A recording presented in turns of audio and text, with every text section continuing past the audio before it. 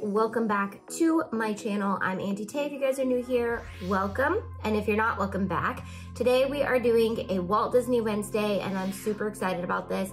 This is a DIY that you can sell when I do a Walt Disney Wednesday. I will let you know if this is something that you can sell or if you can't sell it because that's really important to my viewers sometimes because I offer a business membership to teach people how to sell and how to not infringe on anything copyright or anything like that.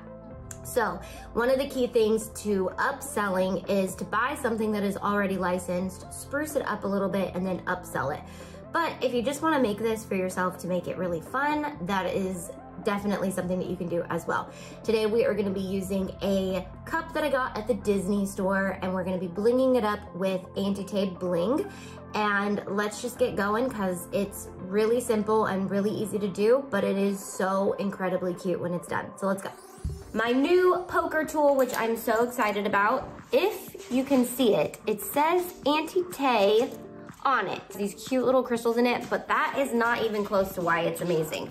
So this side is a wax pen to help you pick up your crystals while you're blinging is a poker tool. It can be used as a weeding tool, but it's also just a versatile crafting poker tool. Um, we're gonna use it in some other videos. You'll see it as I work on some fun things to use with it.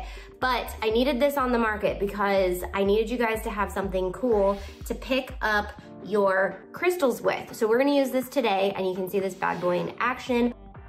Alrighty guys, we are going to dump some 16th birthday bling into our little tray and get to work on this. This is a bigger project, even though it's not huge, it's bigger so I don't necessarily need to use the pointer side of my new tool, but I'm just gonna use the E6000 little bottles. I really love using the little bottles because E6000 dries out really easily.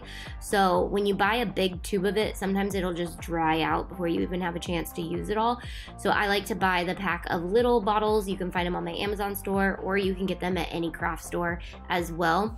Um, but I definitely recommend the little bottles. So I'm just gonna outline the outside of this with the largest size of the crystals in our pack and then go on the inside with a bunch of our um, multiple sizes and that's why I created my packs that have multiple sizes so you can get in all the little nooks and crannies of every project you do and you can do tons of different things. I even hid a little Mickey head in this ear somewhere if you can see it. Um, I did that with just using two different sizes of crystals and you can get as many different Mickey heads as you want out of all the different sizes. And then I just did the front and the back and then we're good to go.